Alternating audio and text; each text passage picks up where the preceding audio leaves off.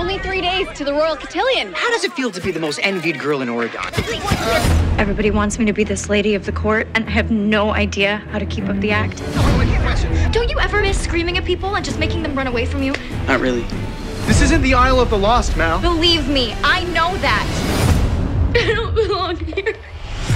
Mal's gone back to the Isle. I'm back. That little traitor who grabbed everything she wanted and left me nothing. When I get my chance to rain down the evil on Auradon, I will take it. This is my fault. I have to go there and apologize. Just wait until Uma gets your back.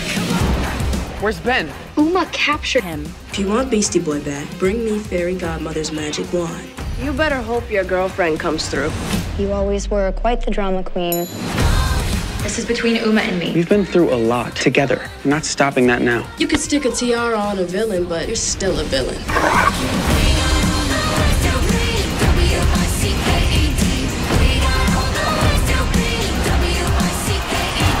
Losing, not an option, because we're rotten. To the core.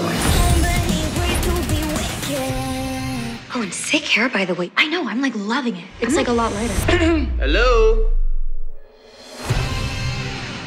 Welcome to the set of Descendants. Hi, this is Mitch. We're here at this amazing castle. Uh, we're about to shoot Ways to be Wicked. Come on!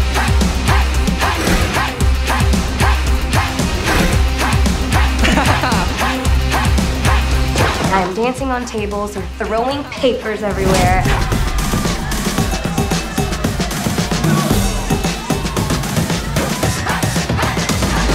We've got all the ways to be. W-I-C-K-E-D. We got all the ways to be W-I-C-K-E-D.